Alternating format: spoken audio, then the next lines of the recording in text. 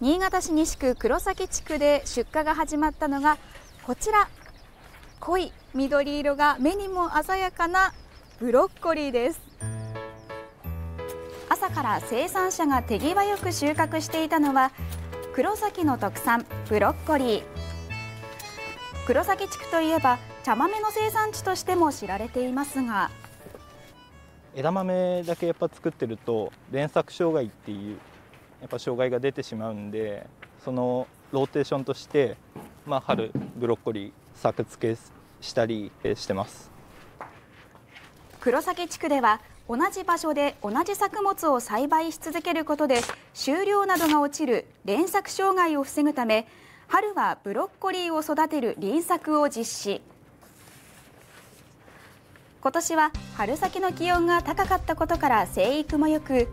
黒崎地区では来月中旬頃にかけてブロッコリー340トンカリフラワー84トンの出荷を見込んでいます。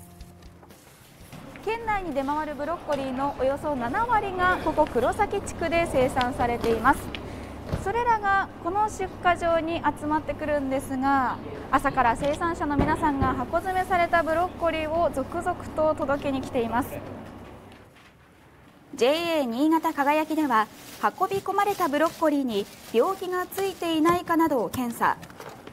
その後一定の温度まであらかじめ冷却しておくことで鮮度を保ったまま消費者に届けられます。